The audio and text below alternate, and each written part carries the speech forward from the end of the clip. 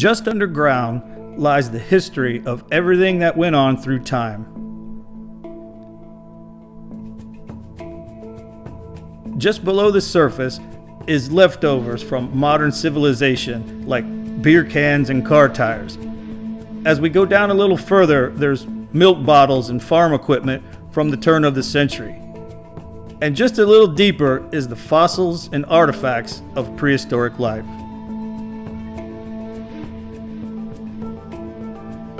It amazes me that right here where I live in the middle of Florida, that an elephant walked right here, ate a palm tree, then headed over to Silver Springs for water and met its demise by the natives.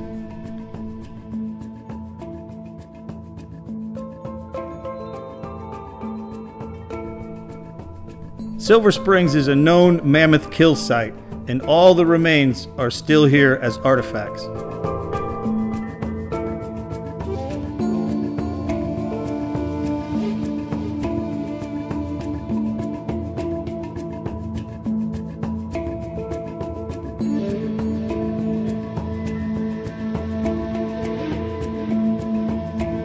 Mammoth, mastodon, saber-toothed tiger, giant ground sloth.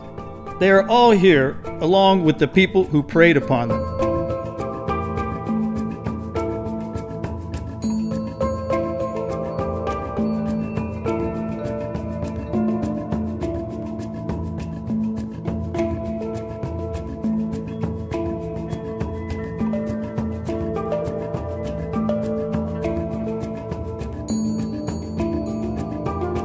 These arrowheads have been down here for thousands of years. As we explore into virgin areas very near the cavern entrance, places where no one has ever been, we make new discoveries of artifacts. It's a humbling experience to see how crazy life was here 10,000 years ago.